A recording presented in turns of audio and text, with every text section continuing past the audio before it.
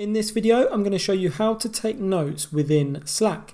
Now, if you are using the desktop application, the mobile application, or you have Slack open in your browser, this is going to work. So what you want to do is open up Slack and you want to find your name, your channel. So I'm currently logged in as Tech Productivity Tips and you can see there that this is actually you. You can see I've got you next to my name.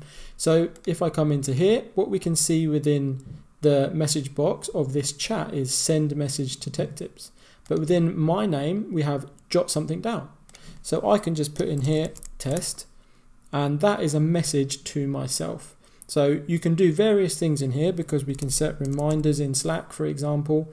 So this is a great place where you can just simply jot something down, note something down, send yourself images, send yourself documents, or anything, in fact, that you like.